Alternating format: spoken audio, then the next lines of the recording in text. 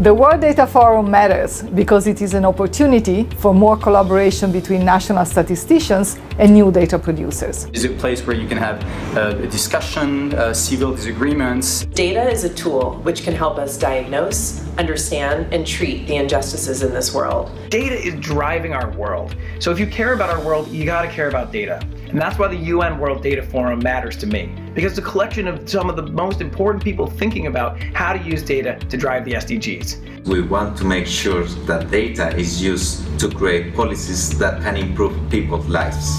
The United Nations World Data Forum is an essential event to bring together a diverse group of data experts.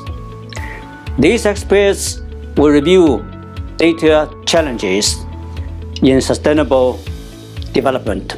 This session will be a key contribution to the Global Compact on Migration, expected to be adopted by member states in December in Marrakesh this year.